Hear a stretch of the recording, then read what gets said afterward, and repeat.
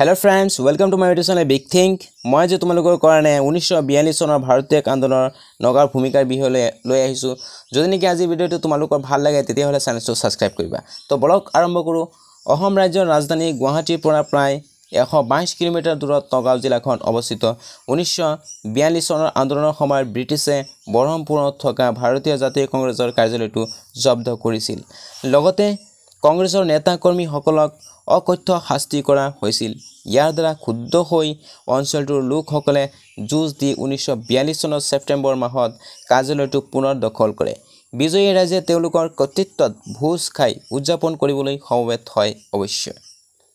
ঔপনিৱেশিক কৰ্তৃপক্ষই তেওঁলোকৰ পৰাজয়ৰ প্ৰতিশোধ ল'বলৈ সংকল্পবদ্ধ আছিল।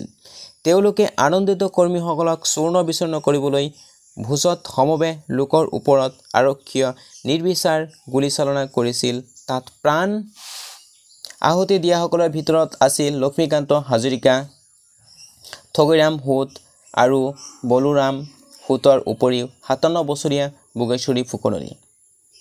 অন্য এক তথ্য অনুসৰি বৰহমপুৰৰ ওচৰত থকা ব্ৰিটিছ সেনাৰ শিবিৰত বোগেশ্বৰী ফুকনিৰ সহযোগী আগৰণুৱা নেতা ৰতনমালাৰ হাতৰ পৰা আমাৰ ৰাষ্ট্ৰীয় পতাকাখন ব্ৰিটিছ কেপ্টেইনে এজনে কাঢ়ি লৈ অসন্মান কৰিছিল।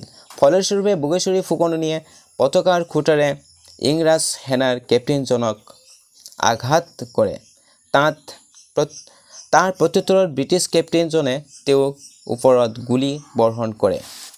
আকৌ কিছুলোকে বোগেশ্বৰী ফুকননীৰ কাহিনীক এক বেলেগভাৱে বিৱৰণী দিব খোজে। ব্ৰিটিছ কেপ্টেইন এজনে ফুকননীৰ পুত্ৰক লক্ষ্য কৰি আক্ৰমণ কৰাৰ সময়ত পতাকাৰ খুঁটাৰে কেপ্টেইনজনক আক্ৰমণ কৰিছিল। ফুকননীৰ আঘাতৰ অপমান সহ্য কৰিব নোৱাৰি কেপ্টেইনে তেওঁক গুলীয়াই দিছিল। ঠিক সেইদৰে নগাঁও জিলাৰ আন আন স্থানত যেনে বেবেজীয়াত কলাই কোঁচ হেমকান্ত বৰবৰুৱাক হেমকান্ত বৰুৱাক হত্যা কৰা হয়। ঠিক সেইদৰে জোঙাল বলসুত হেমৰাম কেওট আৰু ঠগীৰাম বৰদলৈ আৰু বাৰাপুজীয়াত তিলক ডেকাৰ শ্বহীদ হয়। এয়াই আছিল আমাৰ নগাঁৱৰ বিষয়ে। আজিৰ কাৰণে এইখিনি টাটা বাই বাই।